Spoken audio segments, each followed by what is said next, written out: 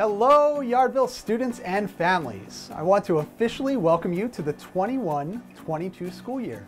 We are very excited to dive back into learning this year. We are prepared to welcome all of our students for the first day of school on Wednesday, September 8th. All families will meet on the back blacktop area beginning at 8.45 a.m. Teachers will meet students outside to line them up and walk them inside the building. Remember that the first day of school is a one-session day with dismissal at 1.15 p.m. Thursday, September 9th and Friday, September 10th will be full days with dismissal at 3.35 p.m. on the same blacktop area. All students will need to be walked to the blacktop area for arrival on the first three days of school.